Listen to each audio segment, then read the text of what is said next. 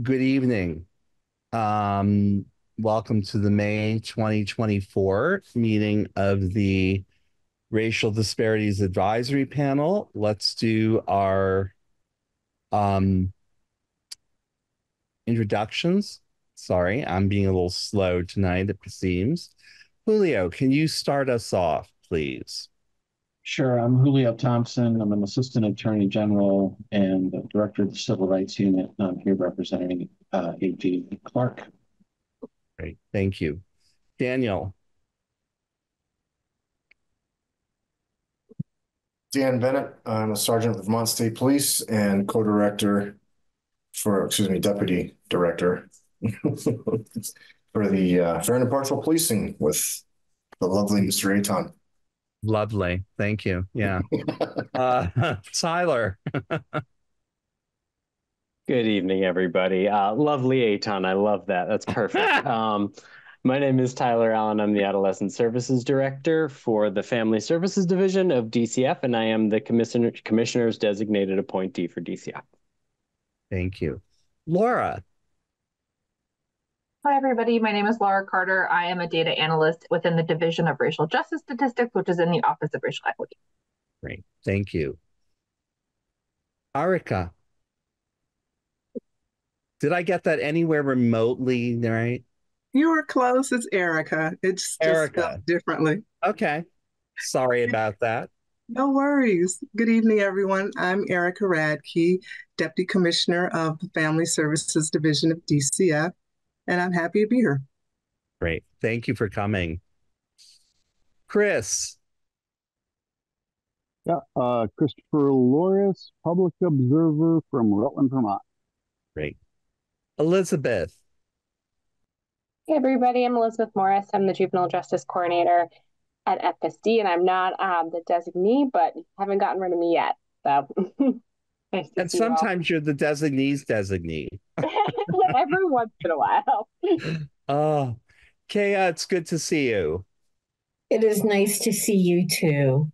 Hi, I'm Kheya Ganguly. I am the Director of Trauma Prevention and Resilience Development for the state of Vermont, and I sit within the Department of Mental Health. Great. Thank you. Grant, Hello, I'm Grant Taylor. I'm here taking minutes for the meeting. Great. Thank you. Judge Morrissey, Hi, I'm Mary Morrissey. I'm the judiciary's representative on the committee. Thank Great. you. thank you. Um, Sheila,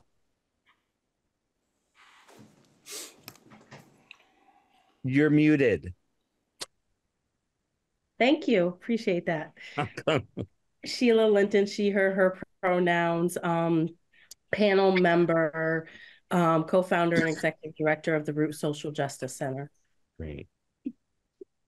Uh, blah, blah. Chief Stevens, I am uh, Don Stevens, Chief of the Nulhegan Abenaki Tribe, Executive Director of Abenaki Helping Abenaki. I'm a panel member appointed by the Attorney General's office. Thank you. thank you. Isabella Whalen, Hi, I'm Isabella Whalen. Um, I'm the new housing program coordinator for the Department of Corrections and the Restorative Justice Unit. Um, Derek is one of my supervisors, and I'm just here to observe. So thanks for letting me be here.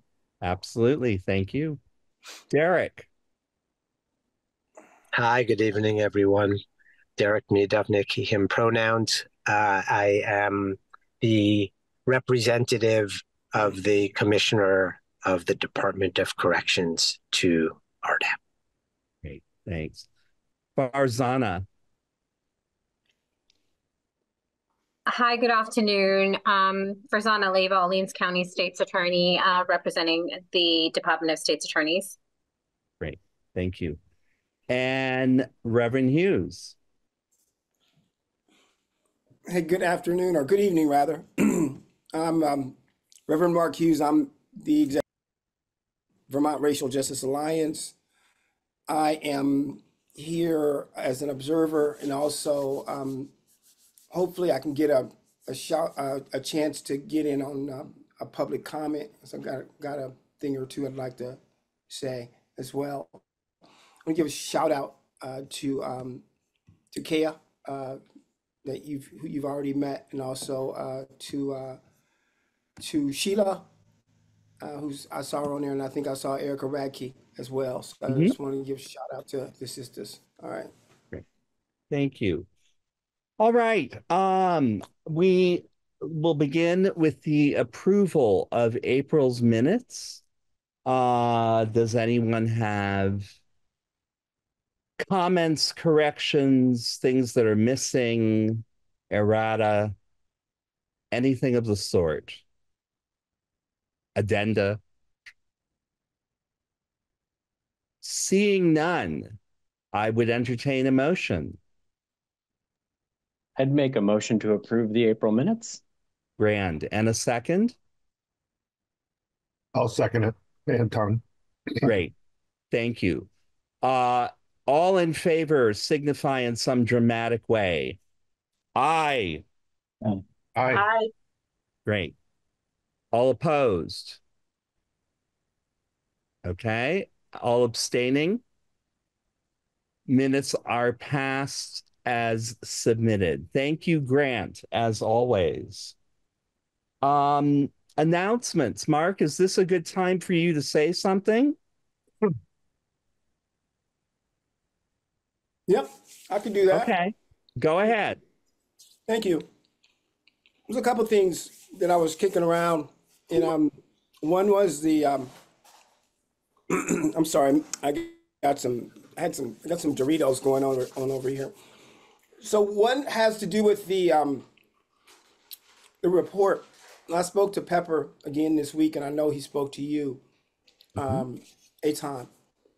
And um, for those who were on the call, um, I think there was a report that was called for from um, from Keisha's committee, um, economic blah blah blah blah, and it was um, it was supposed to um, you know be I guess done to speak towards the um, equity equity reinvestment um, from the Cannabis Development Fund. And I don't know that uh, that was ever done. I know you, I know there was a report that came out of this committee, but that report did not. And it No. was supposed to had come out of this committee for this last legislative session. And just for context, we've been working on um, the allocation of um, the, the the prospect of the allocation of equity funds uh, of of uh, I should say um, some of these excise taxes because I think there's only about thirty percent that's actually allocated right now. We're looking to place them towards some some of our equity initiatives across the state, um, and they were looking for some type of um, analysis Okay. I think the analysis they were look, you know, it was like, you know, was point was how in Vermont, um, the that black and brown people were affected by, you know, this marijuana cigarette, you know, on this day at this time in history or or something like that. Um, and I think we talked, uh, Susanna and I talked before she went out, and we were talking about the idea that perhaps the approach to that analysis should be more along the lines of the acceptance of the existence of systemic racism and understanding that we are not just a state, we're also a nation here, and that the vast majority of Black people here um, actually come from somewhere else, and that uh, the war on drugs is just one instrument um, in um, systemic oppression and just to be able to try to look at that report more broadly. I mean, maybe answer your question, but just contextualize it in the appropriate manner, because I, I think that we've created ourselves a slippery slope um, with those types of analysis. So that, that was one thing that I want to give you for your consideration. I know that, as I said, um, that Pepper has spoken to you this week, so I'd be interested to hear uh, back. Would you like me to stop here and, and wait and, and get a response from you, or would you like me to complete my second thought? I can simply respond. Pepper um, asked me about um, the presence of the chair of the RDAP on a particular committee that was proposed Mhm. by this bill. Um, and I simply said that that would be something that needs rewriting because I personally do not have more time to serve on yet another panel or committee. Right. Was. was That's all. any- Was there any question, was there any discussion regarding the, the report itself, though? I mean, I think No. that, that were two separate issues there. No. No conversation about a report, huh? Well, there was a conversation about a report, obviously, and that what said in the report was I needed to find the time to serve on a committee, and I said I can't. So that would need to be rewritten. Okay, well, maybe we could take it offline then, because uh, the, um, there, there are two separate issues that uh, Pepper was talking about. One was uh, some emerging uh, language in H six twelve, uh, where a committee was being formed.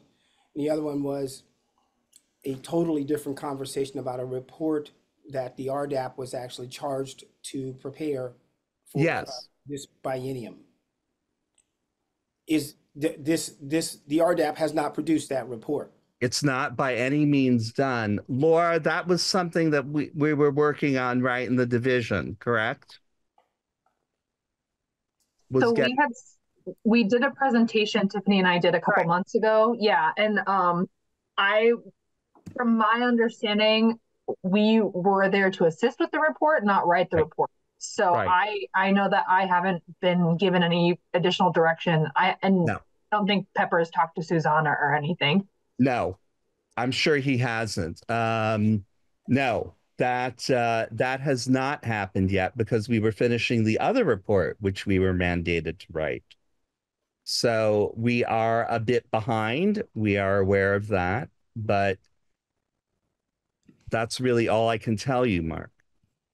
Okay, so just in the interest of time and out of respect for the, the, um, the, the panel, I'm gonna just defer the other question. Uh, if we have time later in the meeting, I'll, I'll come back to it. Otherwise, I'll, uh, ask for some time on the agenda next time. Got you. okay. Not a problem. Um, thank you.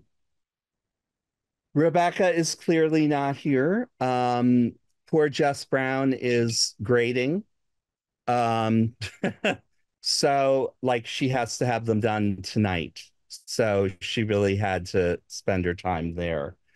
Um, those are the two RSVPs, if you would, um, that I have gotten um, about this evening.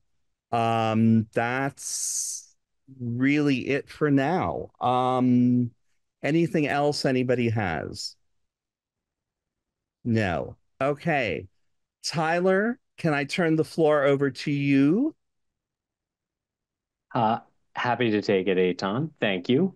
Um, I um, so a couple meetings back, we had a discussion toward the end around DCF, uh, at the end of RDAP in general around DCF. I think initially the conversation was a little bit about um, the utilization of the rest stop or or what we refer to as alternative settings, placement settings.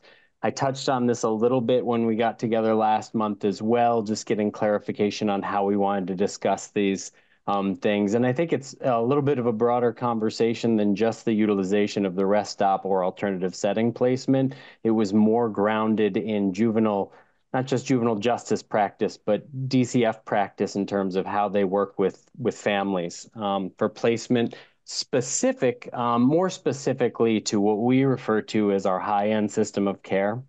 And what high-end system of care really, you know, is a it's a, it's an kind of an insider term that has now become a little bit more of a common parlance in the state, but it's um, it refers to our kind of residential placement settings that are within DCF's reach, um, but specifically to those that addresses kind of the emergent situ- emergent situations uh, where there's a lot of urgency, um, a high acuity of need with an individual youth or something along those. We kind of refer that to the as the higher end of the system of care. A system of care um, is is much broader. That would include foster care. It would include kinship care placements, other levels of community placement. When we're talking about high-end system of care, um, we're usually referring to an individual who needs maybe a little bit more intensive mental health treatment is associated with their placement. Um, there's some urgency around the placement itself in that um, we where you know we have difficulty finding placement opportunities for a young person, so on and so forth. So I think these things all kind of crash together. Our use of alternative settings um, is really stems from what we have capacity for in our residential placement system of care and foster care system of care, but more the high end of the residential system of care. And so we've given a number of, DCF's given a number of presentations at the legislature around this conversation over the past years.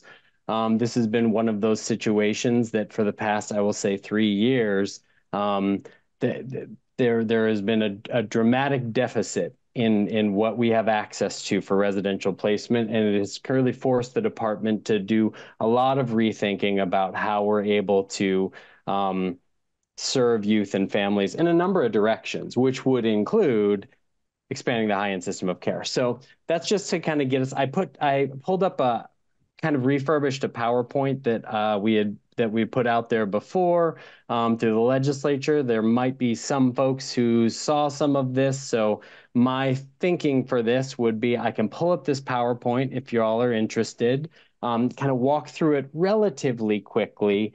Um, of course, pausing as questions come up, because I think for this group, the more meaningful um, part of these conversations is the conversation, not the presentation.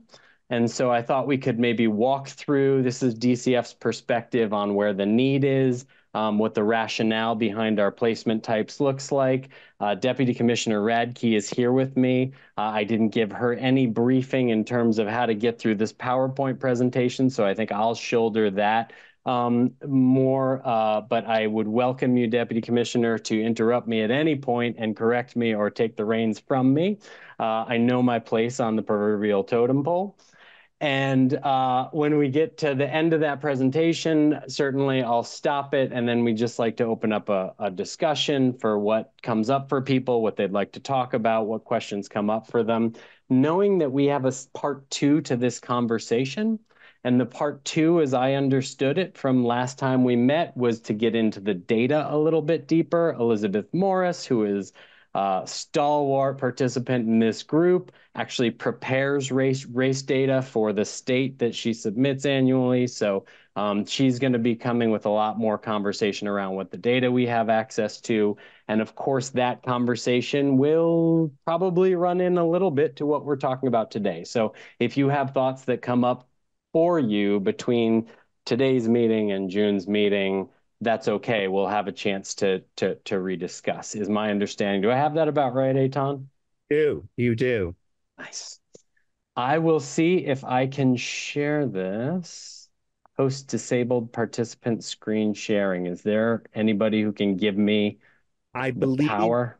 Julio needs to do that. Um because I don't think I can do it. Or Julio, I'm happy to send you the presentation I have, or anyone, I guess, that has the power. Can you try it now? I've enabled participants to screen share. Oh, let me try it. And I want to recognize what you just said, Chief. Thank you. I'm I'm realizing the statement I made. Uh, and it shows some of my ignorance. I did not realize that. I feel like I've always heard that expression as the the the el elements. It has something to do with it. So I have learned something profound today. And as always, Chief, I appreciate your your wisdom and your your gentle um, what is it? Um, gentle pull uh pull pull back. Let me try again. System of care.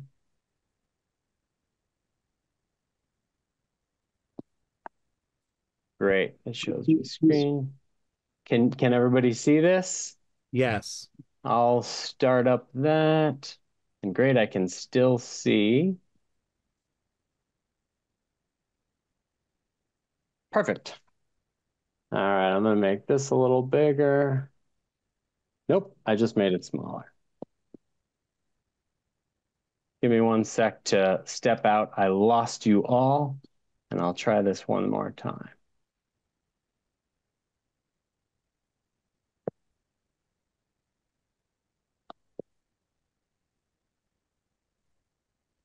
Screen.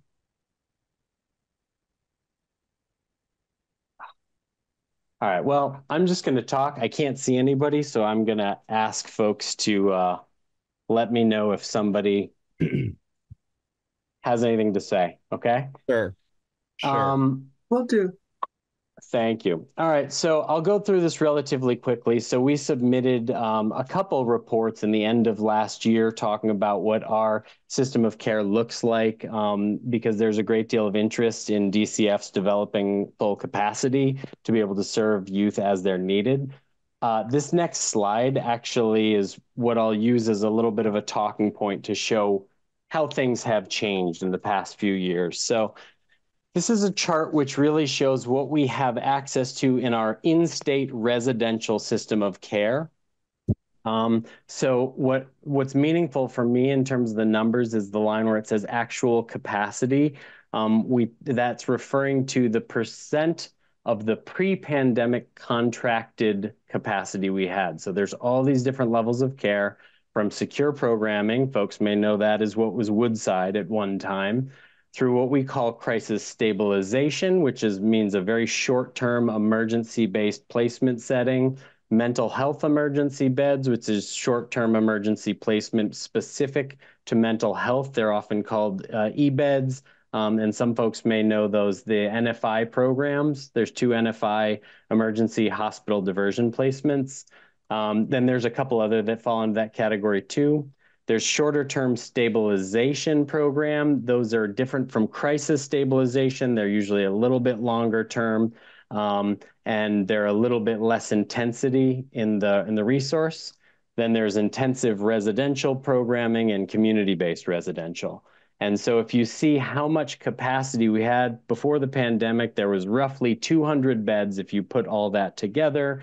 Um, and then at the end of last year, we had a little over half that. That actually reflects a great deal of building. We've been building that over the past um, past several years. We dropped down well below 50% at one point. And why this is significant for DCF is that this when when the system of care is under this level of stress, um, uh, lack of capacity, what often means is youth with the highest acuity needs get put in the program that will most likely serve be able to serve them and usually that refers to crisis stabilization.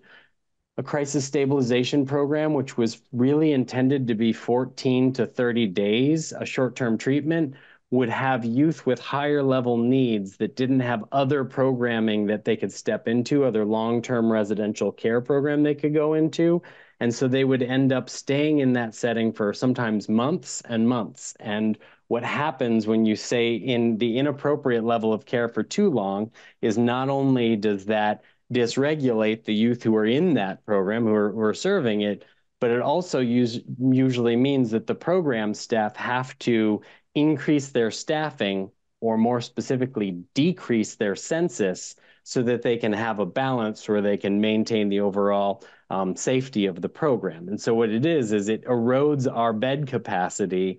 It puts kids in the setting that they shouldn't be in for too long.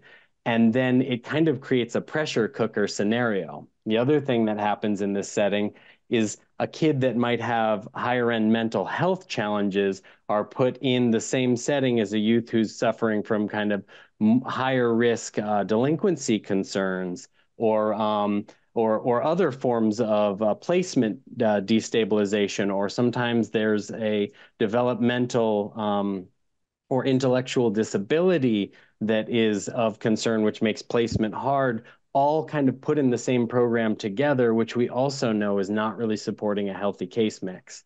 And so what happens is that environment can turn into a pressure cooker and it really opens up the capacity to do harm for the youth who are in all the programs not so it kind of creates you know, to put it very bluntly, almost like a log jam within the system where we can't fluidly move kids into the levels of care they need to be because all of those levels of care are under resourced. Now, these are only DCF capacity or DCF placement programs. This isn't referring to hospitals or other settings um, which are were, have also been suffering the same the, the, the same kind of concerns. And so all of these do go into each other at some point. And it just, I, I put this out there to say that's some of the context for what really describes a small percentage of the population that DCF serves. DCF serves roughly a thousand young people, um, children and youth, and uh, within the context of their families. And of that thousand, we're talking about a hundred of them or so who are in this residential system of care, whether in state or out of state. So most of most people we serve are served in the community. Most people were, were served ideally or served within even in their family environment or in a kinship placement. Um, but this refers to kind of the higher end of the spectrum. I'll move a little bit more quickly, but I'll pause. Did any, were there any hands or questions? Because I can't see anybody. We haven't had any yet. Excellent. This gets me to um, the rest stop. Um, the rest stop and other alternative setting placements. This would include, we have a, a building called the Yellow House, which is up in Lamoille County. Um, there's an apartment in Chelsea uh, that we have access to. Um, there is the, the, the project we have, the program we have built up in Middlesex, we have uh, capacity to staff cases in. But this is a practice um, where we have a youth who is in a, at a point of placement crisis, who may need a level of res, who often needs a level of residential care that they can't get into. And sometimes they are, say, in a situation where they're in a crisis stabilization program, their behavior, they're decompensating in that program because maybe they've been there too long and we haven't been able to step them out. Those youth um, they're harder and harder and harder to find a residential program for them because they're in a little bit of a dysregulated place in their stabilization setting. So that might be the type of kid who we'd need to put in this environment. Another scenario we might have to is uh, if there's a kid who has medical care um, that they need that that make it so that uh, you know programs are less likely to accept them in. Um, or something along those lines. But in the end of the day, the department is the custodian for these cases. So if there is no young, if there is no bed to sleep in, so to speak, there is no place to go. We cannot identify a community placement. We cannot find a foster family through kind of exhausted, you know, exhausted seeking and searching. Uh, that goes up to a state level. We pull together high-end staffing teams where you have state participants working with the district office, trying to identify anybody and anywhere in any situation where we can get a young person. If we're not able to find that, we go into, uh, we'll, we'll sometimes use these high end or these um, alternative settings. We don't like using them. Uh, the reason we use them is, is is out of necessity, but the reason we don't like them is there's no treatment attached to it. There's not an educational protocol attached to it. It means we are usually using family services division staff, the, the family service workers, um, in overtime hours to staff around the clock to be in one of these environments with a young people, with a young person trying to make them feel safe as much as possible, trying to be supportive of their needs as much as possible, while we try to figure out what other placement options are there, what other family can we find, what other foster uh, opportunity is there, something else. So we have had to organize this practice. One question from Chief sure. Don. Yes, Chief. Yeah, um, maybe this is a general question and might need to wait till the end, but I know that within DCF, there's position created for um, for extending the Indian Child Welfare Act down to Abenaki children within the state of Vermont, and you guys hired Marshall Rich mm-hmm. to within DCF to do that. So I just want to know, I guess at some point, obviously, if a kid is in crisis, you're going to deal with that first. But I want to know how, I guess, how what you're talking about, all that fits in because we're treated a little different sometimes than other uh, populations to find out how this all comes together and work? And are you working with that position when it comes to Indigenous people? I just, maybe that's a question after, but I just wanted to at least keep that out there in mind to see how does all this gel within that position and um and also how how our our kids are treated, I guess. Yeah. I I really appreciate the question, Chief. I actually don't have the answer to that, Erica. I don't know if you have one. This is a little bit outside of my wheelhouse. Do you have an answer? Um, you know, we have not had it come up at this point. I think that the way I could imagine it coming up, Chief, is if there were we were staffing a child and there were particular uh, cultural needs that we needed to address, and I think we would then reach out uh, to that coordinator coordinator to make sure that we were getting that youth everything that they needed. Um, but I can't say that this is something that we've had come up through the chain where we've had an issue with it, um, or actually, or any of the other, um, uh, in any of the staffings that I'm thinking of. But what I can do is I'll reach out to Lindsay Barron, who works uh, a great deal with our coordinator, just to make sure if I've missed something, and then I can look back to you. Um, yeah. I also wanted to point out too, uh, Tyler talked a lot about, uh, you know, the staffing and how it's it's a real stressor on, um, you know, FSD workers and how there's not an educational component. But Another issue that is really of concern to us is just that when we're staffing uh, kiddos at these alternative sites, we have a lot of people coming in and out that are, you know, FSD workers or contracted workers that we have. So there's a lot of instability for the kids as well, because you may have one person doing a shift and then a different person coming in another day. And this, it just really causes, it's not the stability that we really want for our youth, which is why we've been working so hard to get additional capacity at these various levels within the system of care to build that capacity back up so that we can have the space, appropriate spaces for each of our kids, given whatever situation they may be in at a given time. Um, I'll just respond quickly. I know, uh, thank you, uh, children to Marshall uh, periodically, and also you have to understand the situation. There's still a lot of fear uh, that's going on within our um, population, and a lot of times they don't always um, self-declare or even identify. So you're there could be children that are being missed or fell through the crack. I just we can have a conversation later, but I really think Marshall should be involved with a lot of different policy or discussions around um, how to identify. I mean, uh, so anyway, we can we can take it offline. I just wanted to at least keep that in the forefront of your mind because often we're off we're always forgotten or left behind or it's always a tough situation. So I just wanted to at least bring that to your attention. Thank you.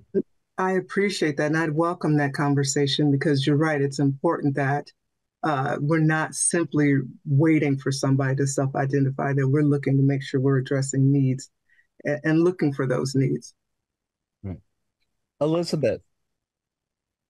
It's okay. I just wanted to pop in um, and give a little bit of an answer as well. Um, I had spoken with Lindsay about um, her and Marshall's work pretty recently. So I just pulled up the update that she had given me that I was um, thinking I could share with you all. Um, so she had said that currently um, the work is uh, regarding impaneling a new child protection team for statewide Abenaki partners to enable us to share information and partner during an open child safety intervention um, and that group is working on gathering some information so they can create a practice guidance, a checklist, or even an add on to our cultural context guidance specific to engaging and working with Abenaki tribes and people. Obviously, this is all work that is still ongoing, um, but I just wanted to, to jump in there, and I'm sure Lindsay could give lots more um, additional information on that too. Great. Thank you. Thank you, Elizabeth. And I think lastly, I just want to say, even though it's important for us, but I imagine there's a lot of cultural differences with New Americans as well, um, because there's a lot of similar tribal um, things that they're coming from that may have some impact that extends past Abenaki people. I just want to at least uh, not forget to mention them as well Um, because I know sometimes they have a different culture and a different way of looking at things than the US does. And um, they they they need representation as well. So I'll I'll leave it there. Thank you. Thank you. Mark. Hey Don, I appreciate that. In that, you know, I'm I'm just gonna fill in the I'm gonna just uh, replace every place you said Abenaki with uh, black folks. And um, you know, and then there could be another group that could come in and say the same thing, which goes to the another another point is is I'm looking at the report right now and I don't see any racially disaggregated data on that on that report, uh, in the Act 23 report. And I'm wondering, as we're making all of these policy-based decisions, to what extent that they're data-driven in that respect, uh, for all of the reasons, Erica, that you just mentioned and more. Um, and this is not, I don't imagine we would get to the bottom of this tonight, but that's just an observation. I don't, I mean, if, if you want to respond, great, but I, I just, I get it. We, we're not gonna, we're, we're not gonna solve the world's problems tonight. Um, but I also just wanted to point out that this obviously also bumps right up against the juvenile justice system. First of all, you know, I just want to be really clear. This whole picture is incredibly bleak. All of it is bleak. Just in looking at um, the, services that are provided, provided, the impact that they're having, the lack of visibility that we have uh, on these uh, demographics, uh, the fact that um, you know we've just gone through a severe round of regressive policy that uh, puts more in doubt in, in uh, the hope of the um, the whole idea of uh, the raise the age as well. So um, it, I, I'm just I'm just also thinking that it seems like what we've just done legislatively makes this situation worse.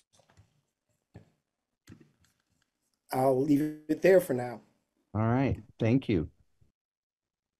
Uh, uh, thank you, Mark. And uh, certainly of what I'm going through, this is the bleak part of it for, for me as well. And, um, but also I think there is plans and hopes and designs to stabilize many elements of that. So I think I'm getting, I'm building to that. I'm building to what I feel is uh, potentially hopeful. And yes, I'm, I think I'm going to get into the juvenile justice side of this in a moment, but uh, I just know that this is an area of concern uh, for a lot of folks, what we're doing with alternative setting staffings.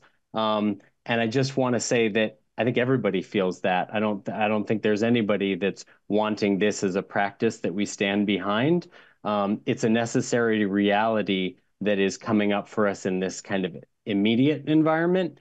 Um, and we're looking for solutions out. And so we're going into all these settings, including this group here now, uh, always with open ears about potential options forward. So we have a couple other stakeholder work groups that are trying to figure out ways that that as a practice isn't a practice that we continue. Um, can folks still see my screen? I think it says I'm still sharing. So great, I can see you both now. So I figured it out. Um, any rate, I just wanted to have this up for a moment so you could see we're having to organize our work around this practice that we want to end. Um, and I think the next, if I can get back, there it is. So the broad approach, we, we you know, this speaks a little bit to our values. Um, we're, we're recognizing that all the individuals we work with, whether they're justice involved, whether they're only involved through the context of um, uh, uh, the child welfare side of DCF Family Services um, and more. Uh, almost universally, trauma is a factor in those lives. If nothing else, the trauma of involvement with our systems is present. And so we're aware of that, and we're all we're very interested in mitigating the effects of that. So having a trauma uh, responsive system is uh, is is kind of the priority for how we're looking to build everything we're looking to build. We want to make sure it's consistent with therapeutic approach. Um, we want to be respectful of the brain science. I appreciate uh, uh, Mark, you're bringing up um, uh, the Raise the Age initiative, which is also very much aligned with the science behind a developing brain and what that means. I'm always excited to talk about that if folks want to talk about it. um, and that these are Vermont kids. They're all Vermont kids, and this is not about places. I think often when we're having these conversations, there are folks that talk about, oh, this is a Burlington kid or a kind of a more metro kid or an out of state kid or uh, this kid. And there's sometimes we fall into these patterns of this isn't a kid who's my community or from my community. And DCF, our perspective on that is if you're a young person who runs into a point of crisis within the state of Vermont, you're part of Vermont's children. We have a responsibility to serve you and care for you um, because you're in here at a point of crisis in your life. Um, and this might be for a kid who's in, you know, uh, a, a, very rural small town in Vermont, or this might be a kid who's in a more urban location, but they are all of our kids and we have a responsible this responsibility to care for them and their families.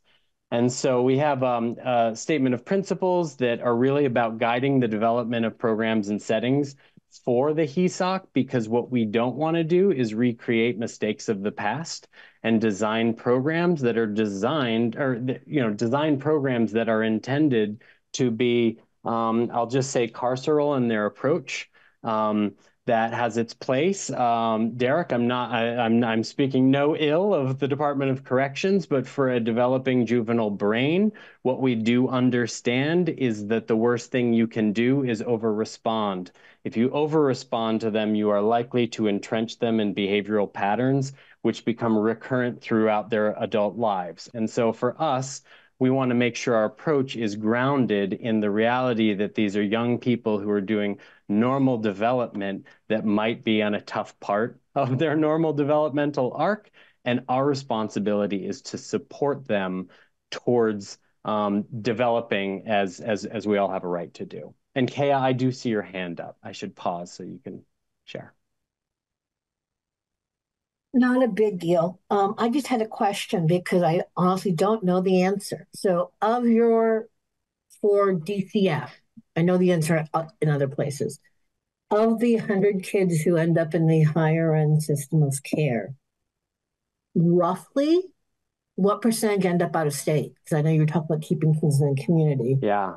Um, roughly half and half. Um, so in state programs, I think uh, it, there's different ways DCF tracks mm. them, but at one point we were saying our residential in states, we have like 48 residential in state and I think 44 out of state in residential program. Now those residential programs were not including crisis stabilization, so mm-hmm. these numbers don't match up with the slide that I right. just showed y'all.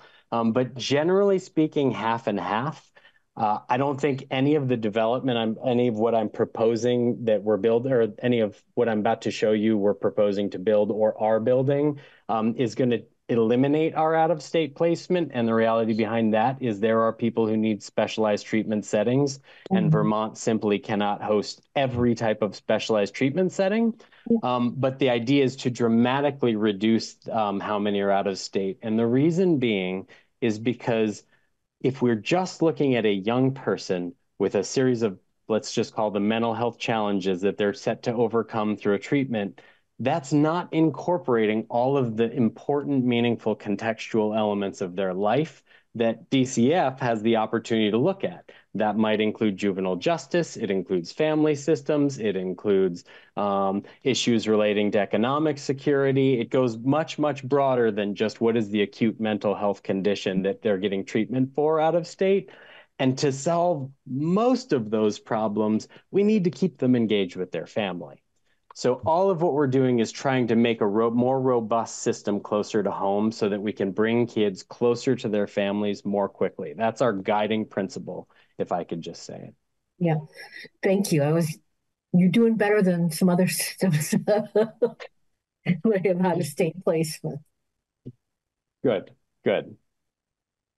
Um, so, uh, and then most of the rest of the slides, I'll give them all to you so you can see the walk down of how we go into these. But generally, this is how we broke broke down um, what we're looking to expand in our high-end system of care. And so this is, the first one is secure stabilization programming. The second one is secure treatment programming. Uh, and then we're talking about Um, it says staff secure crisis stabilization, but this is actually, we already have this level of care. We're looking to diversify it so we have more programs that we have access to. Um, and this would be non-secure. And what secure means is there is a locked door. A young person cannot open the door and leave of their own volition. Now, sometimes those programs have a delayed locked door where you have to lean on the lock for a certain amount of time to get out. And that just gives staff some time to respond. Usually that's in the instant that there is a immediate risk. There's concern that a young person is at a state of duress that they might run out into a road, for example. So, um, but those are not locked settings, and people do have the ability to abscond from those programs. Um, and then the last one would be psychiatric residential treatment programming. That is um, a level of care that exists somewhere between what we talk about when folks talk about the adolescent programs at the Brattleboro Retreat that's a hospital setting, a hospital level of care. Um, this is a notch below that. It's still operating under a clinical, uh, a clinician, uh, specifically a psychiatrist.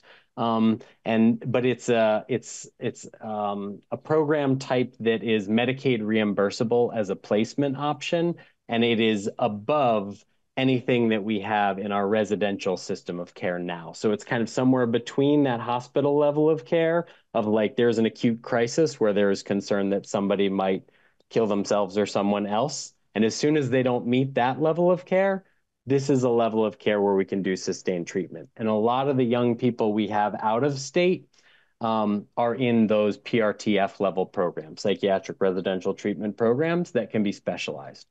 All of those kids would not be able to come back, but we're hoping a large amount would be able to. So we have programs in design behind all three of these. Um, and maybe I'll flip through the slides so that folks can see them. I will share them to the group. Um, this, oh, yes. Oh, Sorry, before you um, move off, I just wanted to add a little bit of detail for the psychiatric residential treatment and call it PRTF. We do have, um, we did put out an RFP and we had an apparent successful bidder um, with the Brattleboro Retreat to put up a PRTF uh, for us. And the neat thing about this um, initiative is that it's going to be DCF, uh, DAIL, and the Department of Mental Health working together to have this PRTF so that we each of these programs will have beds so that we can really uh, work together to try to help this particular need of youth. So I'm I'm really excited about it. And that PRTF, what Eric was just describing, is the last slide I have in there. So again, I can stop sharing this if folks are okay with that, so we can all see each other comfortably. Um, and I would just love to open it up for discussion of what's bubbling up for people and what they want to talk about. Okay. Kheya, do you have your hand up again? That you no. Okay.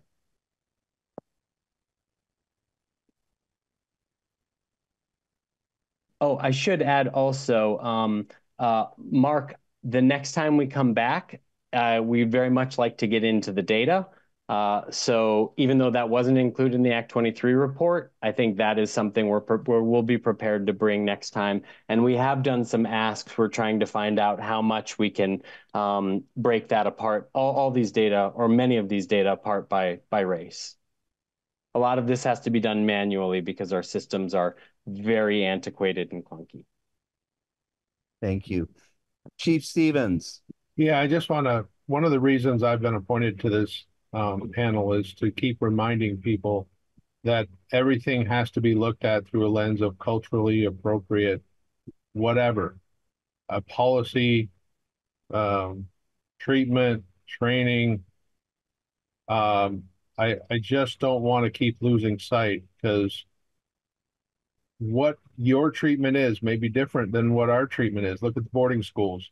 Look at look at all kinds of other things uh, that happened in the in uh, Brandon School for Boys. Look what happened at uh, the Waterbury State Hospital when it comes to our people uh, and others. I'm just saying is uh, we weren't worthy to breed, right? So uh, our the treatment was to sterilize us. So I, I'm just want to make sure. I'm not saying I'm not trying to go off the, the, the deep end, but I keep I want you guys, everybody, to keep being reminded that anything in policy that deals with our kids, especially, Uh, and we've learned from the past that everything needs to be looked at through a culturally appropriate uh, lens, um, first and foremost. So I, I just want to keep emphasizing that. So, so thank you.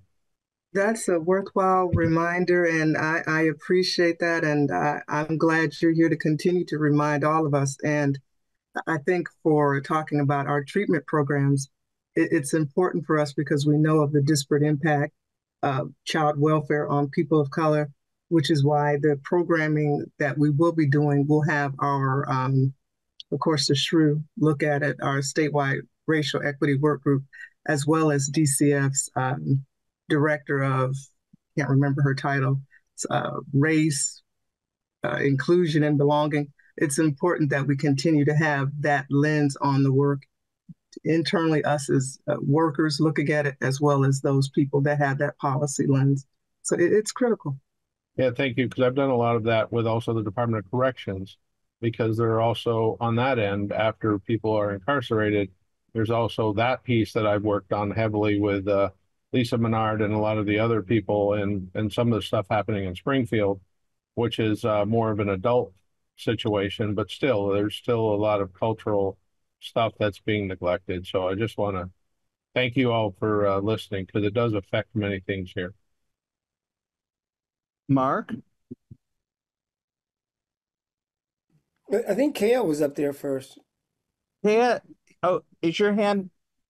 I'm not sure what you're doing with your hand. It doesn't. Yes, I know. My my computer's been a little possessed. I apologize. That's fine. I just want to build on what the chief had to say. Um, when you're thinking about new American communities, a really good and not long read to really sort of get a picture of this, especially when you're dealing with the intersection of mental health, culture, and even some physical health issues, which we have, is Spirit Catches um, Us and We All Fall Down.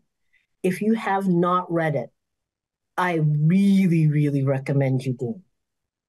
And Erica, there may be a couple of extra copies floating around DMH because we bought a whole bunch. Um, but it's just, it really makes you start understanding how if we don't take culture seriously for new American communities, how we are actually just like with indigenous communities, we're working against that culture and you're not going to get cooperation or understanding. But this is really clearly illustrated. Mark?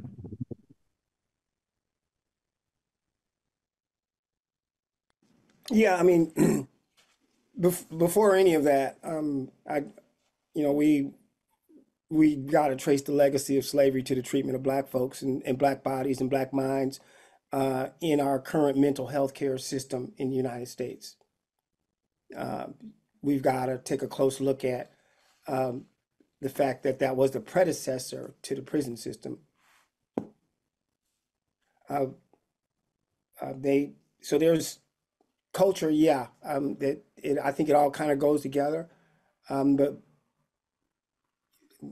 to me, you know, it's kind of it kind of leapfrogs the discussion to get out ahead of ourselves uh, in talking about um, culture before talk about race uh, because uh, we we're the original culture, um, and I'm not trying to um, say that in any way except for a factual way as far as how we built this nation. Uh, so listen, I know it ain't. I know there's not that many black folks in Vermont, um, but there's there's nothing, uh, you know, about the um, the criminal justice system or the the uh, mental health system uh, that's nice to black people, nor has it ever been. Uh, and I and the the uh, rising tides lifting all ships, Tyler, it doesn't work, uh, especially in this. So I so I so definitely I want to um just flag that uh, it's not it's not it's not even like revolutionary or anything. What I'm saying it's not um, like a big um, revelation. Rather, um, it's just to me it's it's more mind boggling that we're sitting here in 2024 having this con- this conversation. Um, because if we look around is you don't have to look far. You look around what some of the other states are doing uh, and some of the progress we've made. I mean, I'm the Health Equity Advisory Commission co-chair. Okay. What in the heck would you have a health equity commission for in the first place? Um, so I, there's a lot of work uh, to do across the entire AHS.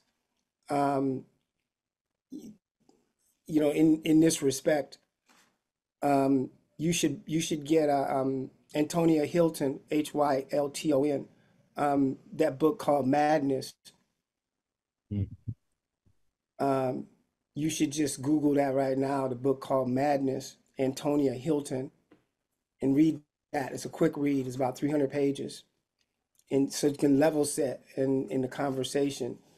And and I'll just say, you know, just conclude, just say, and just say that we're having this conversation is be- the reason why is because we don't have a governor who's made this a executive mandate to address these matters with a with a priority of racial equity across all um, systems of state government with a whole of government approach.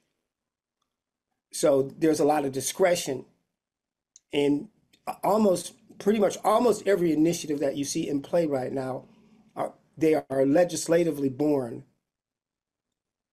um, but they're but they're executive executed, and so you get what you get.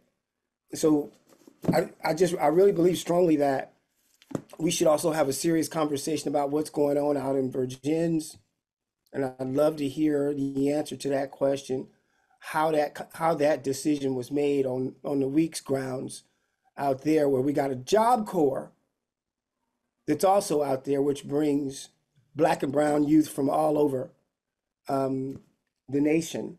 Uh, so that's going to conflate an already existing issue out there. Um, not to you know I know there's probably nobody on the call that can answer it. Like, Eric I'm not going to put you on the on the spot because I know you didn't you didn't make that decision. But um, I, I would love to understand how and why that decision was made out and to put that um, that facility out in Vergennes as well. Uh, if, if maybe maybe we can talk about that in June as well. Thanks. Chief, I'd be happy to come Oh. back. I, I actually was deeply involved in that decision and happy to discuss it. great. Thank you. Um, I'm just gonna quickly, I'm not gonna take too much time. Like I, like I said, this isn't really a competition between race or any of that stuff. It's more or less, it's, it's different. Everybody gets divi- divided and division. I just, the reason I mention culture, it's not just indigenous, but some of the new immigrants are coming from refugee camps. They come from countries where if you get, in, if you get arrested, they take you out and shoot you in the back of the head. There's no, there's no democracy. There, you know, I'm saying is you have to understand that some people who are coming to this country, especially new Americans, they have they have a different culture and a different way of being and a different way of interacting with not only police but but refugee camps and other things. Some some people are there a long time. So uh, we have our set of issues. New Americans have their set of issues, and Black and Brown folk have their set of issues. They're all different but equally important. So that's why I just want to clarify that you can't use one treatment plan for everybody. That each one has to be kind of tailored to to the needs of the individual or the uh, or the whether it be culturally or racial. It it just has to be considered. That's all I wanted to make a quick statement, and then uh, that's all I'll say further on this subject. Thank you. I really appreciate the point you just made, Chief. Um, and I think that's one of the things that when we're talking about treatment uh, programs and all of these programs, that's something we build in at a contracting level at the beginning now, that every individual going through these programs has an individualized treatment plan that considers their culture, that considers their race, that considers factors rele- relevant to their life. To some degree, these programs have some structure that is universal to and and then that we also have um, uh, um, case review committee uh, uh, um, kind of a multidisciplinary process of understanding what appropriate levels of care are there's a number of different ways we consider each individual and their individualized needs And if we just have a categorical, here's the solution for all folks that go into this level of care or this program or whatever, we're, we're going to miss the mark with, uh, you know, 99% of them to hit, to hit, to hit it right with one of them.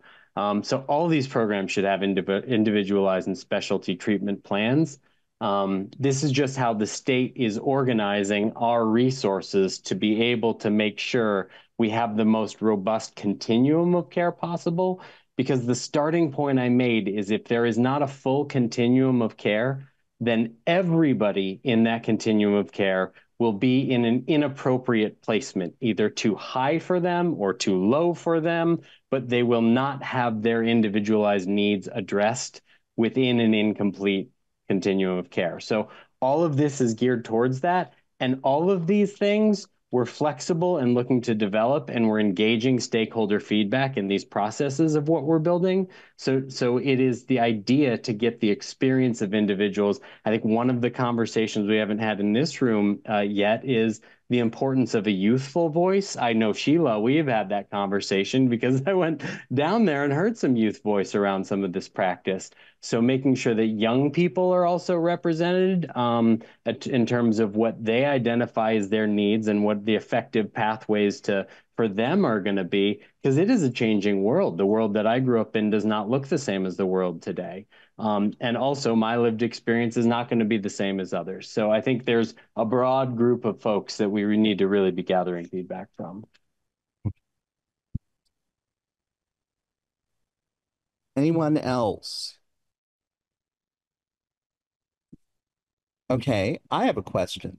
What kind of education do you need these various levels of staff to have? Like do I mean, you know, are they LICSW? Are they you do you have who's running the facilities? Yep. Generally speaking, all of these programs operate under the uh, a clinical director, so somebody who's a licensed okay. clinical director. Um, all of the staff in there wouldn't be licensed social workers, um, but they would be under acting under the supervision and direction of somebody who who, who is. Uh, and we have a regulatory, uh, I'm not a regulator, so I don't know all of the specifics, and they probably vary from program to program. But a lot of the staff who work in the program, it's it's it's not an uncommon um, job for somebody newly coming out of their, you know, getting a bachelor's degree, coming out of college, looking for a job in the field of mental health or um, or human services. To I, I cut my teeth as a youth counselor in in a residential treatment milieu. Okay, thank you. Yeah. Anyone else? Please remember this conversation will go into June. Um, that Marshall Paul will be here as well. He will be coming and um, also presenting. Um, but just keep that in mind. Uh, Mark. Yeah, um, I'm I was going to ask this at the beginning. I'm sorry for being so like uh, late with with the question, but I just want to understand w- what the outcome. What what are we seeking to accomplish here? What are we trying to do? The moment we're gathering information, are you talking about the RDAP? I should have asked that first. Yeah, yeah, yeah, yeah. So, yeah, I appreciate that. No, I'm, I'm what I'm getting at is is love information, love it. Um, the um, here, you know, just I'm thinking about the charge of this panel and, and what it is that uh, you know y- y'all are here to do, and what the uh, intent was uh, when we set you up to do it. I'm just trying to put this into context, this conversation, and just better understand critically you know what you know what outcome we're seeking to to gain from from this uh, discussion and for or these series of discussions. I just want to know what are we seeking to accomplish. That's all. The RDAP is seeking to gather information at this moment. It's not made a decision on that it will do anything necessarily, but it has been the point has been brought up by several panel members that mm-hmm. this is something to look at, and that's what we're doing right now. Okay. And and, wh- and where I'm contextualizing it and and you know I'm going to kick up a little dust every now and then. It's you know I, I still love you. Every Um, now and then. Yeah, you know, but w- what I where I'm at is is you know because this you know just for just as just to remind myself is the racial disparities Mm-hmm. in the criminal and juvenile justice system advisory panel. Just so I can make sure I'm in the right place here. So I'm just trying to figure out at the end of the day with what it is we're figuring out.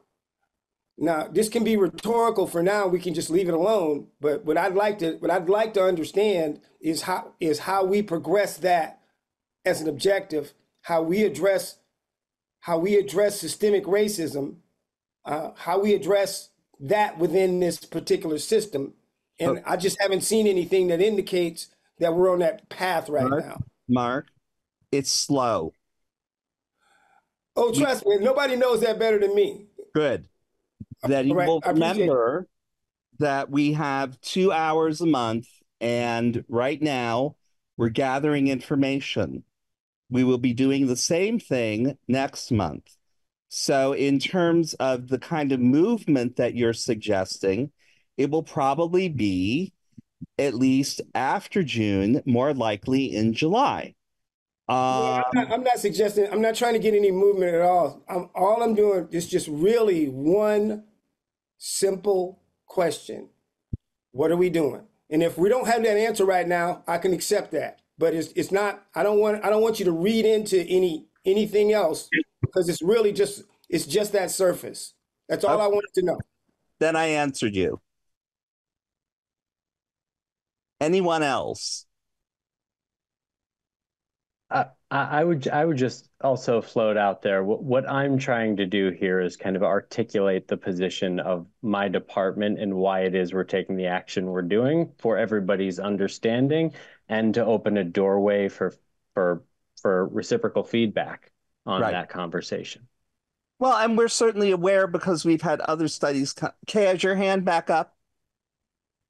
Okay. Yes, sir. Well, I also, Okay, go ahead.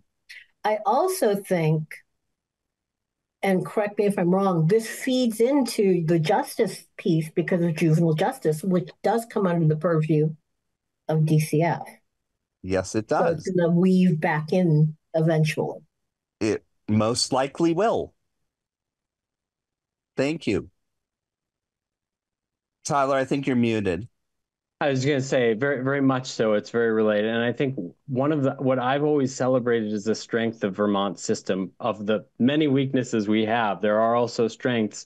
Um, is that our our child welfare system also houses juvenile justice as a practice, and there are challenges, logistical challenges that come out of that. But the benefit of it is, is we we look at every youth who comes into our care, um, whether it is through a juvenile justice lens or through a uh, a family needs lens, um, or sometimes that family needs lens comes our way by way of uh, mental health concern or um, developmental or intellectual disability, because other other avenues come to us. But we can look at family systems holistically. And I think a limitation to some systems in the country are that the context of doing youth justice work are limited to the conversation around their delinquent act, so to speak. It is we're talking about that within that context. And for us, we enjoy the flexibility of saying this is part of a whole system. There's many pieces here, and a, and a, a kid who comes into our care from a justice perspective can enjoy any of the benefits of approach to to to to broader assessment and and broader treatment. Um, and I, and I think that can be a real strength, and and it, and it can come with some some challenges too. So uh, that that's one things I like. It it makes this a little bit sticky, but I think there's opportunity in there. Okay. Anyone else? Okay, let me ask. Um, curious, what have your numbers said at all about racial disparities in terms of treatment, in terms of um, well, being picked for certain programs, I would mm-hmm. imagine as well. I mean, all those high impact, high discretion moments. I'm sh you've done work on this. I know that. And so I'm curious to know sort of leading us along here where you have seen perhaps problem areas that just need to be, you know, addressed at some point soon? That's a great question. I hope we get into it more in the June meeting when we're actually bringing numbers to this equation. I would say one problem area that's coming up that we, you know, we're talking about this use of alternative settings as um, as a problematic treatment setting or problem, not treatment setting. It's not a treatment setting. A, approach to to, to placement. Um, and I can say anecdotally, we're trying to get the numbers of do can we get a race breakdown because all this stuff is just tracked in various spreadsheets that we have to put together. Um, but I think um, that uh, that there have not been any youth of color that have been through that setting. If there are, they're they're they're extremely underrepresented in that. Um, but I but I but I'm not sure. I, I I'm going to wait till I see what it is. Um, okay uh, sometimes this is again it gets hard because the numbers can be small. Sure. Um, and so sure. we're going to face that reality but i think we need to we still need to they're the numbers we have so we need to be able to be transparent about them. Thank you. Deputy commissioner you look troubled. No i was just thinking i i'm glad tyler ended with um you know let, let's wait for the numbers because Sure. I'm not sure either with the alternative settings, but I would, I think there likely have been some youth of color that have gone through the settings, but I can't say for my, a fact either. Um, it's just, uh, and to me, the longer we do this, it's important that we have these, the things that you all are talking about in terms of being culturally responsive and making sure that we have an eye toward race because even if we don't have youth of color that have gone through it now, right, we might tomorrow. So I, I just think that it's important for us to to keep a focus on. It. Oh, and um, I do want to add to um, because I know there's a, a, lot of interest in our high end system of care. Yeah. I am facilitating a um, high end system of care task force that's looking for um, really creative ways to help build out the system that Tyler was talking about that's been so diminished. And uh, we have people from DCF, we have uh, community providers, uh, folks from the hospital setting. We have many people that are involved in the group. And I'm just going to put out a blanket invitation. If any of you would be interested in um, attending uh, the task force, I'd love to have more people join. It's an hour a month. And uh, Tyler's there, of course, helping me as well. So um, if any of you are interested, please reach out. Thank you kindly. Um, we, okay, no, scratch that. Mark. Yeah, there there is um there's I mean there's quite a bit of data that's out there, you know, um, and and it's in in different places and it, and it but it all tells the same story. What it the stories that it tells is is is that um, you know because of the legacy uh, of slavery that what we have is is we have racially disparate and adverse outcomes across all social determinants of health period. Hard stop. And so it's so it shouldn't be um, a big surprise to us uh, to find it in the in this system either. And and if you don't see it if you don't see the representation in the system then the disparity is, is that they're not in the system. And that's a problem. so, so I think that, um, you know, gone should be the days that we're trying to figure out uh, where the data is or if the data says something. And now should be the days where we're finding out where the data is, getting it, and creating institutionalizing processes where in which we don't have this conversation in a few a few years from now because unlike most people on these calls, I, have been around uh, this for about the last 10 years here in the sit in the state of Vermont. Uh, and I, and this is the conversation we were having then. So it's unacceptable, not that it's anybody's fault who's on the call, but it's unacceptable that we would have to have this conversation now that, oh, we don't know where the data is. And um, and I think it's in, unless we start having different conversations, we will be having this conversation 10 years from now. I have no doubt that we will. I mean, we tried putting that report together that just got submitted. that require, oh, I'm sorry, not that one. The report that led to the DJ, DRJS. Yeah, The around. search for the data for that was akin to finding the Holy Grail. It was all over the place. It was tucked into very strange places, and we were making jokes about now that we have it, let's make a time capsule up on Camel's Hump and bury it exactly you because we'll never be able to get it back together again. Yeah. Um, that Here's here's what I think though. At a time though is is you know, and this is the question. The question is is you know whose responsibility is that? And I don't think we we want to get into that uh, right now. But it's certainly not that RDAP's responsibility to go and chase down all of this data from all of these uh, departments and in various agencies. But um, again, it just goes back to the, the lack of the mandate, um, the whole of government approach that's that's placing a requirement on various agencies and departments to do just that, with the specific intention of doing it for the purpose of racially disaggregating it and disaggregating it with other um, uh, groups that are represented by systems of oppression and so forth.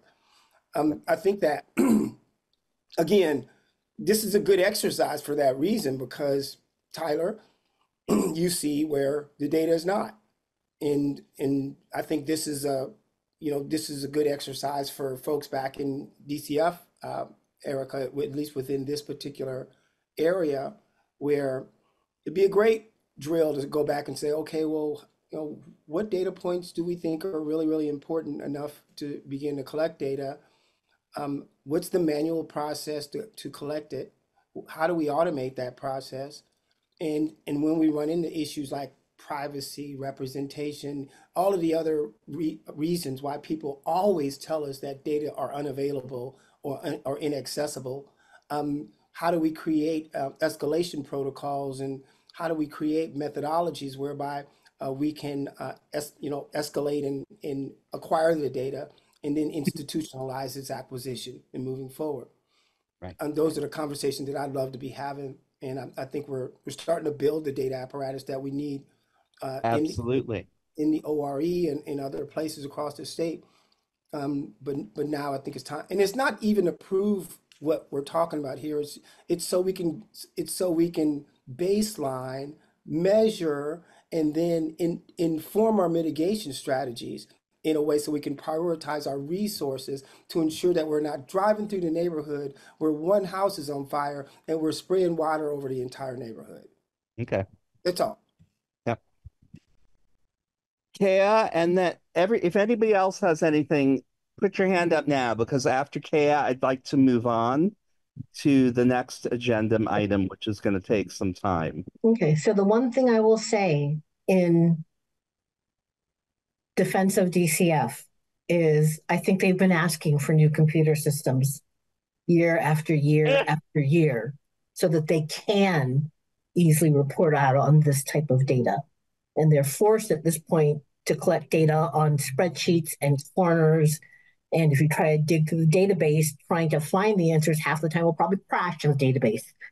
Um, so I will say that I'm not saying that it's right, but I'm also saying as a state, there comes a time we need to make the investment. We have the oldest existing system in the country. Yep. So, so that's all. Okay. Thank you. Tyler, you're it, and then we're moving on. Okay.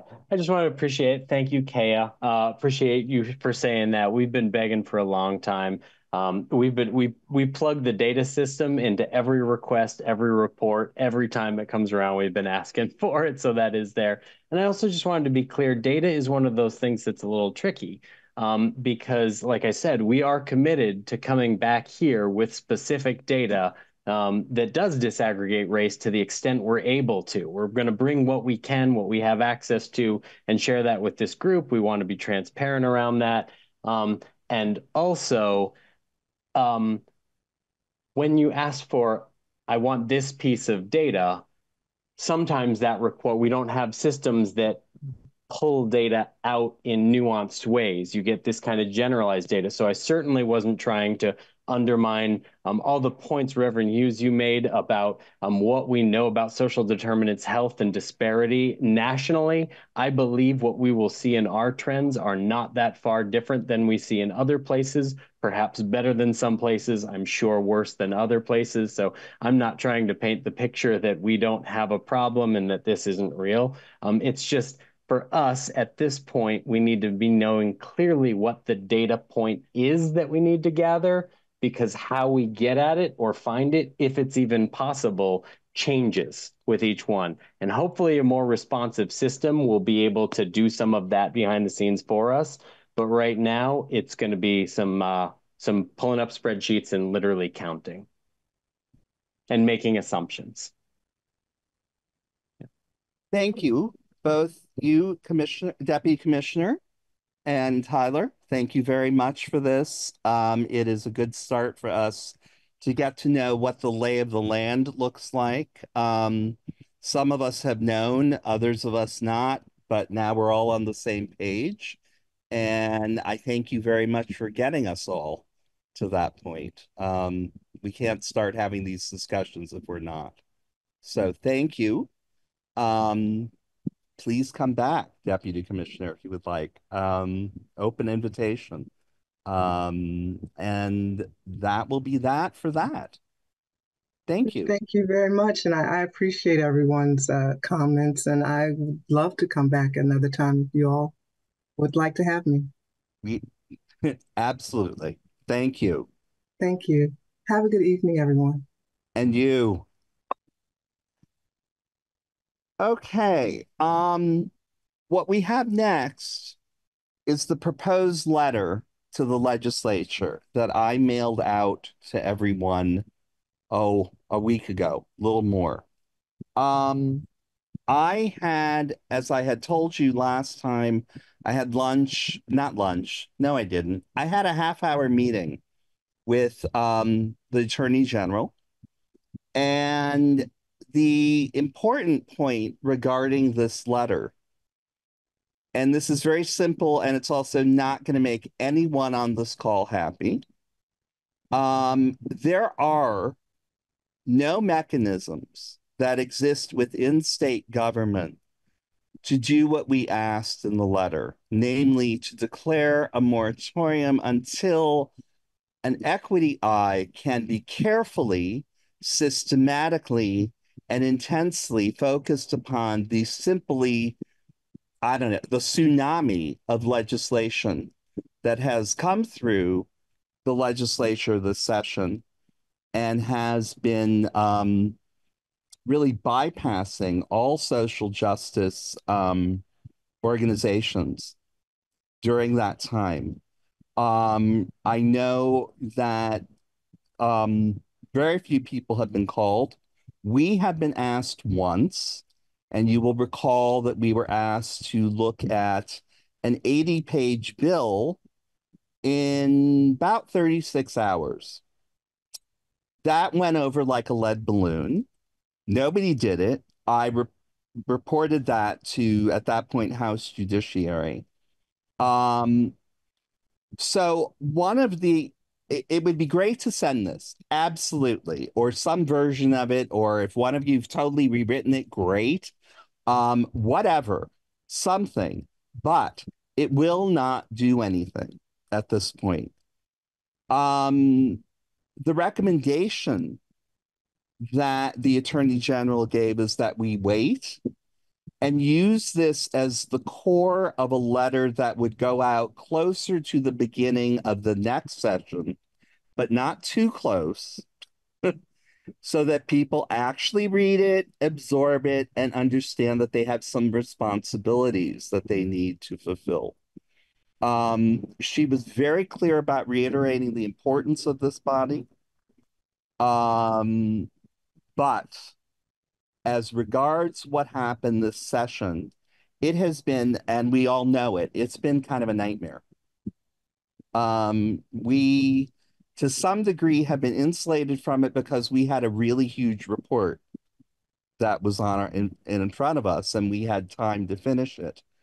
Um, unfortunately, well, we had been given to understand, and you all will remember this back in uh, last year, um, around this time, actually a bit earlier, that our participation in the legislative process was seen as one of growing importance. Um, to that end, they repealed the sunset. Um, to that end, Xusana was made, uh, or forgive me, the director of racial equity was made a member of this panel.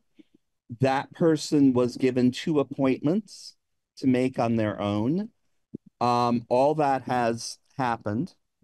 Um, but the sad fact seems to be that we got outsmarted. Um, I don't know what happened with the legislature this year. I do know that um, Martin LaLonde is going to start discussions with us probably as soon as he can find his brain again after this session. uh, poor man. Um, and we will talk about improving that pipeline that we have discussed, it feels like forever, regarding um, getting things from the legislature to us in a timely fashion. Now, one of the issues that I did not discuss yesterday with the Attorney General, given that we only had a half an hour, was the idea that we really do need staff, that we've needed staff forever. Um, because when, and I'm not saying this is a complaint, but yes, I am. Um, when it comes down to it, if there's something that needs to get done, it falls on my lap pretty squarely. Um, and sometimes that's fine and I don't mind. And other times it's crazy. This session was crazy. There was no way that I could have done that and helped shepherd that report into the legislature's hands. It simply was not possible. Um, I'm not willing to have a stroke for this. Um, so we did talk about that. Uh, the other issue that will come up, this is not connected to the letter and it's nothing to worry about right now. We all have to be reappointed, everybody who's a community member. Um, we kind of missed that, um, partly and actually pretty squarely because of the pandemic. Everything was such at sixes and sevens. Nobody could handle anything else. So I certainly understand that, but I did bring that up because it is legally required. Um, but that's where that conversation went was that this is not the time for this letter. People appreciated the letter, they appreciated the tone of the letter, but did not feel that this was the moment for it that's really all I think that I have to say on that right now. My recommendation would be that we wait. And I don't say that with joy. Quite the opposite. I'm annoyed. Anyone else? Comments? Co I mean, Chief Stevens. Yeah, thanks, Ant Etan, for all your your work. Um, Thank you. And we do understand that they, for some reason, the legislators and others feel that these are full-time positions that that they want all kinds of decisions made on it, and it's and there are no full-time staff; it's all volunteer. Um, and I think that be looked at not the right time because they're always trying to turn down, you know, the budgets are tight, they never have enough money. I, I think even though if we don't want to be overseen by the, if you want to be separate than the Attorney General's office, because I mean, that's, even though it's the Attorney General Board of Racial Disparities, it's supposed to be separate. I'm not sure why um, the Attorney General and maybe maybe Julio, uh, uh, Julio, or uh, um, could could mention that you know they they do contribute a lot of money to the general fund with their lawsuits and other things why why couldn't there be some way of supporting this this um this Attorney General Board of Racial Disparities that fall squarely in their lap, even though you're separate. But there's also, just like other commissions that have administrative support and other types of uh, things, maybe that maybe they could help fund or find other ways to get those funding. I don't know. It's just a thought. I know probably he's going to say, well, that just goes to the general fund, and that's that's the law. But uh, I'm just wondering if there's a there's an argument to be made uh, to the legislators that this needs to have more funding, or uh, like they did with a, you know, all the other boards and commissions that they've created funding for. I'm, I'm happy to address that. If you, Go ahead. Um, so I, I think you answered your question in, in part, Chief. I mean, uh, most of our money goes to legis the general fund, like our civil rights unit. We recover a lot of money, and none of it goes to our unit um, or to our work. It goes straight to the general fund. Uh, generally speaking, and this is not just true with Vermont, but for most states and a lot of major cities, enforcement agencies don't get to direct the funds that they collect through fines and settlements because it can create it, can create institutional bias towards having more punitive funding and as a way of funding government operations that more recently has been known as the Ferguson model. Um, but I do think that more broadly, there's a space to be advocating for um, committee and I think legislative support for the RDAP. And I think, Etan, you, you mentioned, I think at last month's meeting, the AG, I think is fully supportive of that. And I think willing to lend their voice to it. Um, there, there are a couple of things that I think for, for RDAP folks, and, and I'm the newest maybe member uh, of, of RDAP and I'm interim perennial member for that. Um, uh, one is that as you know, I think there are a couple things we can do between now and you know, really it's after Labor Day that the bill requests start coming in, and I think that's the time where you make the push to have bills or bill ideas going through the RDAP process because usually by January it's far too late. Right.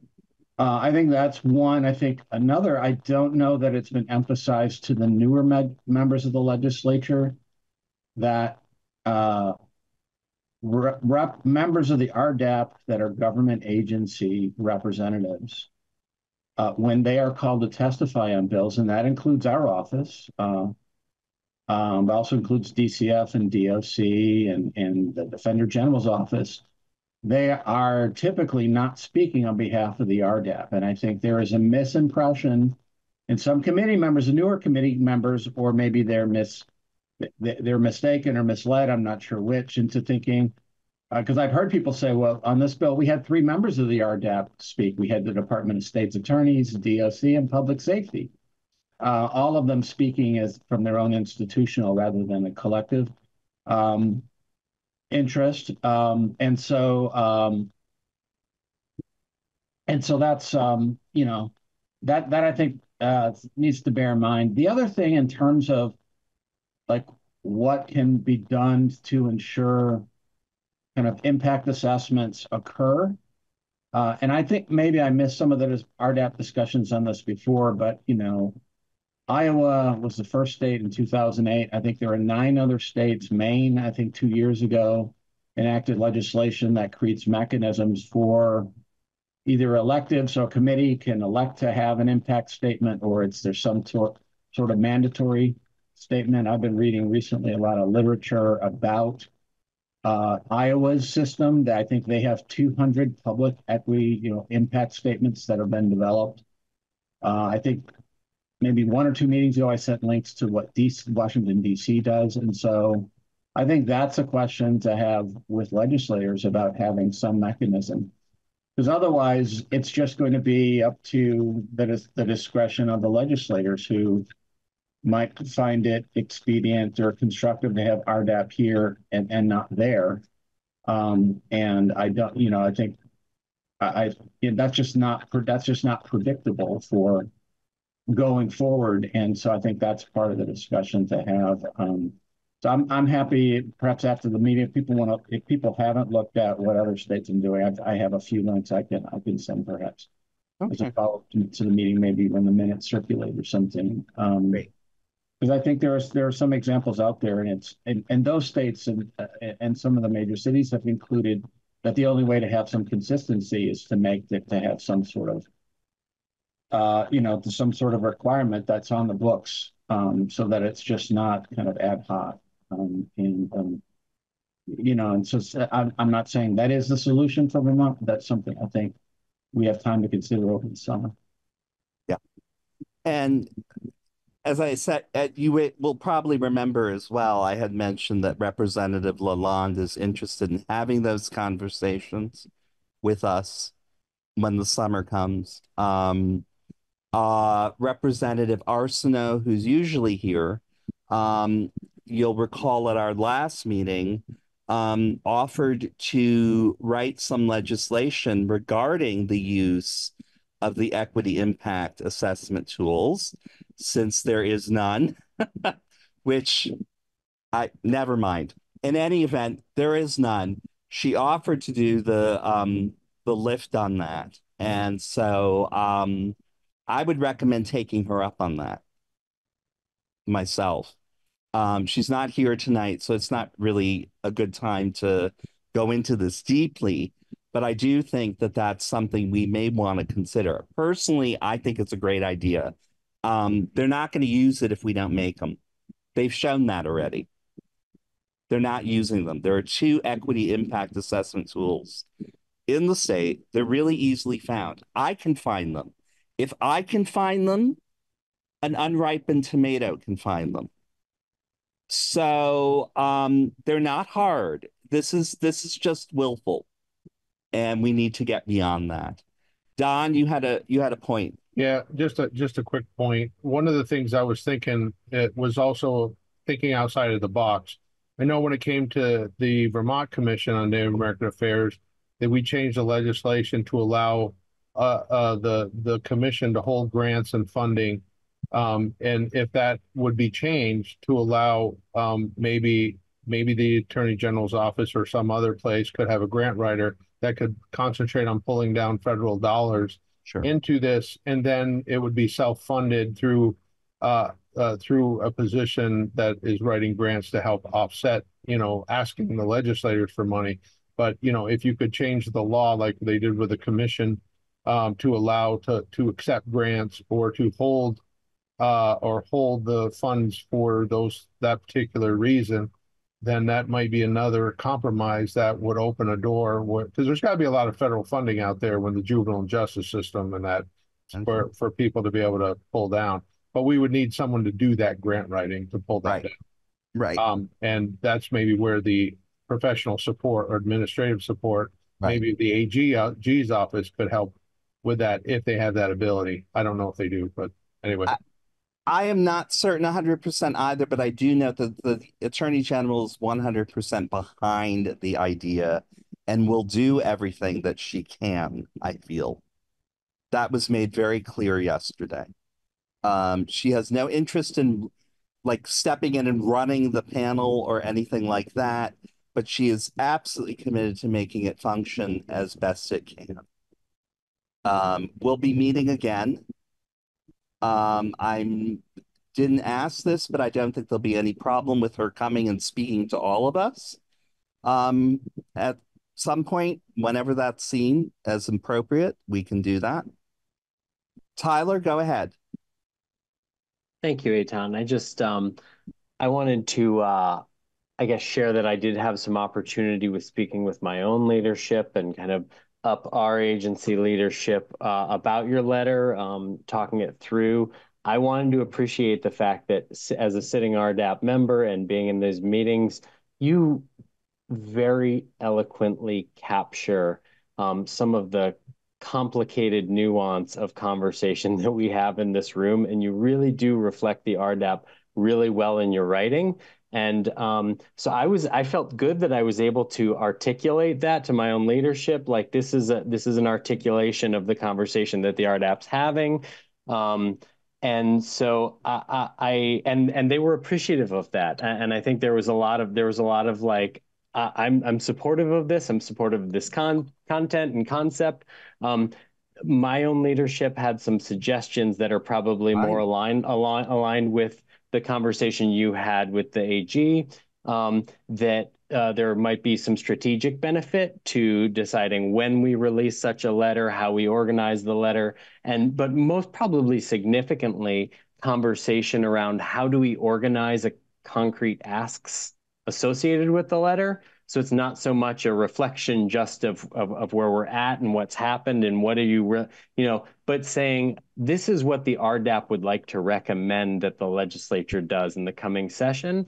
And so I just floated out there for something for us all to consider if we are in favor of delaying for a little while, and I think that's a very prudent and wise plan, um, maybe we can dedicate some time, energy. Maybe a couple of us can form a subcommittee to conversations yeah. around what we would ask the legislature to do. And I think um, specifically working with uh, Representative Arsenault about um, about the, the the mandated inclusion of a racial equity uh, report, at least where it's involved with criminal or juvenile justice application. Right? It's not every law that goes through the legislature has racial equity impact. But our group was really looking at juvenile and criminal justice kind of more specifically. So I think we can make some concrete recommendations. And I think as we start to unpeel that onion, we will find that, ooh, this gets more and more complex. Like, who is Recording responsible stopped. to fill this out? Who is going to, um, you know, and and and at what time is it uh, uh, read, or how do we make sure it's integrated in the process and not just done on the side? But we right. can actually come up with some recommendations. So I think that's exciting. I would love to lean into that work too. Um, Great. And so I just wanted to offer that up. Great. I I think the idea of a subcommittee makes a lot of sense. Um, I kind of like more of us here before we put that together, if you don't mind. I would love to do it tonight, but there are some of us who just aren't here. um, does that make sense to you, Tyler? Yeah, I'm just floating as an idea. No, no, no, hear... I know. I'm just asking. I mean, you know, Anton, I'm you did, Etan, you did hear that the recording stopped, right? Somebody, I mean, it came across, I don't know if that's important or not, but it did stop. I assumed that had to do with the um I don't know what you call them. I'm not wise about those things. The, you know, people have those AI systems that take notes for them. I think that's what it was referring to. But thank you. Um that's where we're at, I think. Um, the I, I it I found myself after meeting with the attorney general, I I just I had a bit of despair. I was a little frustrated. Um, I'm not happy with how this session went. I I have gone back and forth between saying, well, they're new. They don't know about the RDAP. They don't know how the RDAP works. We should have done a presentation early on. We were busy doing all sorts of other stuff. It gets difficult when you meet two hours a month. Um, one of the things, and I'll just put this out there, that I did say is that I think we may need to look at some readjustment of how this panel functions um, and how it provides what it provides to the legislature. One of the things that I said, and this is very concrete, two hours a month is not enough. I mean, it's just not enough.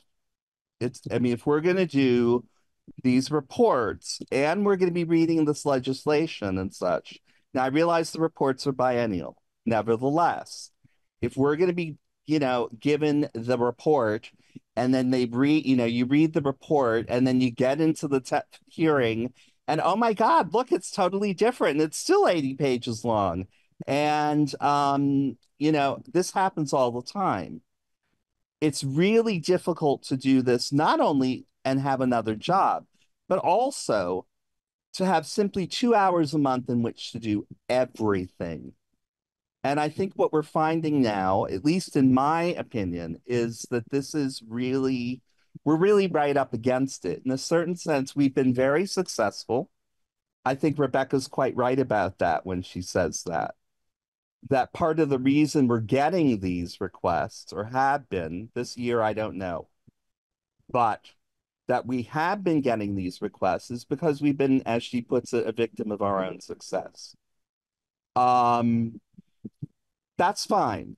I don't think that means the panel's falling apart. I just think it's a moment of transition. Um, the other issue is, you know, is the balance right between community members and governmental actors? Do we want to look at that? I mean, all that needs to be talked about. I had a very brief discussion at the beginning of the session with um, Senator Sears about some of this, and he was intrigued. We didn't go any further than that. I mean, I haven't seen him again. that was back whenever the hell it was, January. I don't know. In any event, um, there's there are a lot of big discussions I think that need to happen here, and not because I don't know we're bored, but because there are some really fundamental things that are becoming difficult, or if not difficult, actually impossible. Early on, um, Mark raised this whole thing about the Cannabis Control Board. He had asked me last session is that something that you know the the equity issues that come up there is that something the rdap would look at? I said sure. The reality is theoretically that's absolutely true. In terms of practicality it's quite something else and it may become impossible. We are blessed beyond belief by tiffany and laura and i mean Oh my God, the Division of Racial Justice Statistics. Thank you. They have got a bunch of the data. We now need to be able to write something, but we need to be able to have the time, literally the time to write something. Um, and so a lot of this has to come up. Um, this is nothing new, right? I mean, organizations go through these kinds of reworkings all the time. And I think that's just what's going on here right now. And I think I can shut up now. Tyler. I'm chatty tonight. Y'all started me up at the beginning of this meeting. I keep wanting to talk. Um, I just, as you were talking, Etan, I had this thought uh, to tie into what I was last talking about. If we were able to furnish some recommendations around the structuralization of the use of a racial equity impact assessment for legislative processes, if we made that recommendation, is it possible, and I'm just asking it, exploring it with this portion of the group we have here, that that tool be a really nice interface with this group? Right? Rather than the legislature saying, I want you to read an 80 page bill of like red line legislative text. Here is the third party racial equity impact assessment around the conversation of this bill. I would like the RDAP to consider that, right? With and that might give us some something to that that's digestible um, in a timely way for our group to be able to process. And then, of course, that doesn't stop us from going into the bill language as it right. manifests itself. But maybe there is some solution in there towards yeah. like actually building process that we become a valued component of the legislative bill processing practice. It's an excellent thought. It's an excellent. I wish. Well, when Representative Arsenault recovers, um, and we see her again, um, that would certainly be something to ask um, because we're starting to get, I mean, you're starting to give shape to what this bill might in fact look like. And I think that's good. Actually, I think it's excellent. Anything else? Yeah. Right. Um, yeah, I just wanted to align with the strategic decision to harness the instinct and energy that that letter was like manifested in, in, in a beautiful way and and put it to I think what has the promise of a more planful sure. strategically impactful um, approach and I just want to honor the the instinct and the need to put voice to it too, though. Um, you know, I think it, it, in a world that um, is, you know, more binary than um, ever necessary, if, if binaries are necessary, um, I don't just want to. I just want to not lose sight of the emotional truth that gave birth to the to to that letter and then the opportunity to hold it out and collectively say okay is this the optimal vehicle through which rdap at this moment can advocate for its systemic inclusion in the legislative process in the criminal legal system. That's a conversation. Um, it the determination does not diminish the emotional truth and the need for that voice that uh, is in response to that tsunami that that, uh, that you characterized a time of the legislation, the inability to meaningfully digest and consider the impact along racial uh, and marginalized community groups. So I just I just want to hold it back up um, because there's a both and for from my perspective. I, I uh, Julio, I pre- framed that in, a, in in an important way and spoke to the I think ongoing need to consider how the executive or, or government actors who work within these structures can wear our RDAP representative hats and whatever institutional positions we may take specific to the pieces. Um, and um, and at the same time, though, that the history of these bodies, it legislatively, I you know, is the history of the systemic racism and colonization that keeps getting perpetuated. So I just want to give voice to not okay. losing sight of that personally for me and that that letter it doesn't go away for me right? And, and its truth is there. So i just felt compelled to appreciate that. Okay thank you. It's not going anywhere. I think i, I mean i formally, I would say I don't want to bring this to a vote because there's no support on some level right now from the commissioners. They're not against it, but they don't feel this is the right time. I can't argue that. So my instinct is to simply table it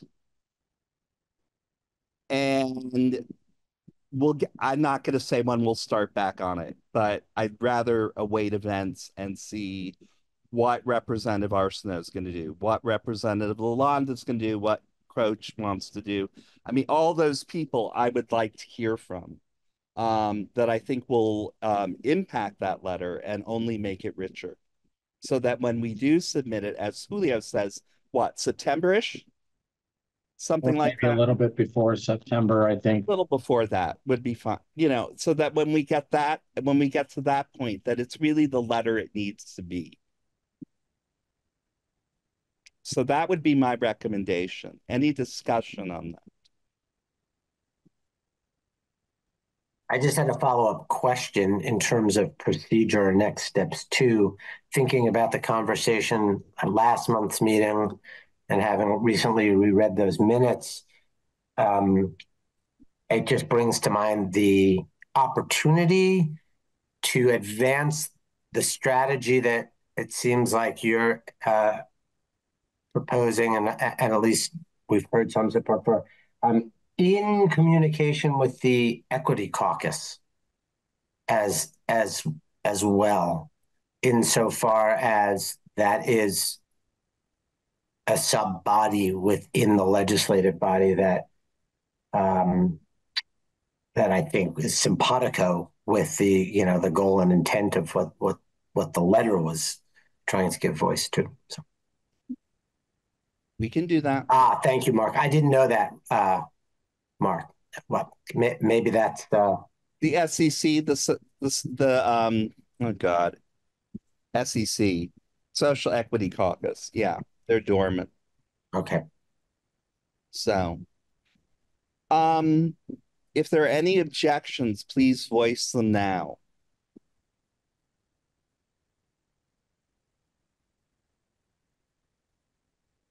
Okay.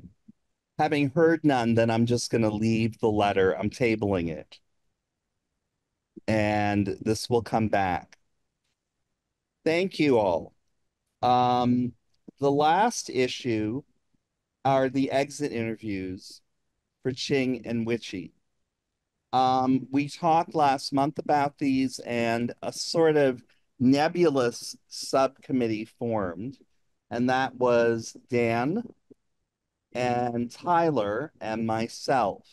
Sheila raised a very important point that that needs to be a racial, di- racially diverse body. I want to make sure, Sheila, if you're able to, or just send me an email at some point when you feel like you can. Um, does that seem like enough? That if there are three of us on the subcommittee and one of them's me, um, does that work? Or do you see problems there? As I say, don't feel like you need to answer right now, but it would be really great if you could um, weigh in on that for us because you brought that up and that was a really important um, point. So we are Dan are and Tyler, are you still willing to be on this? Okay, good, good. Um, we will let me get through next weekend and then we'll talk about when we'll meet. I'll like set up a doodle poll or something like that. All right. Then, oh boy, I better hurry. Net relevant known policy updates, legislative moves. There's nothing to say there right now. They're done, um, or so they think. Um, they'll be back on June 17th to deal with expected. Um, okay, thank you, Sheila. Um, they will be back to deal with expected vetoes. Um, new business. Anyone have new business?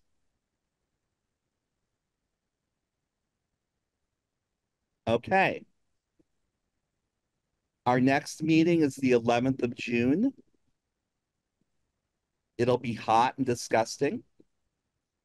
Um, but everything will be lovely. Um, we will move ahead with this, with all of these initiatives. Again, I hope no one's feeling I was really despairing yesterday. And then I just went, wait a minute, wait a minute. It's just change.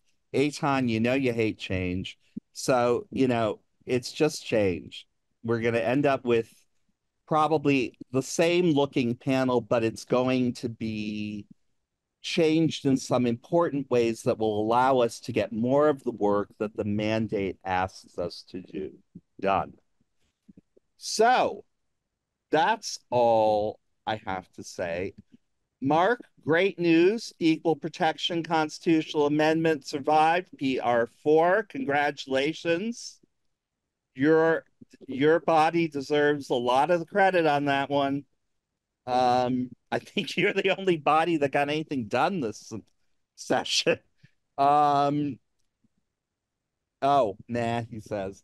Um, nevertheless, that's good, a great achievement. Um, so I won't go through the usual rigmarole because it annoys people of getting people to make a motion to adjourn and so on. Is everyone cool with adjourning? That's the new Roberts rules. Is everyone cool with adjourning? Yeah, we are. Lovely. I will be in touch. Thank you all. And um, have a good evening.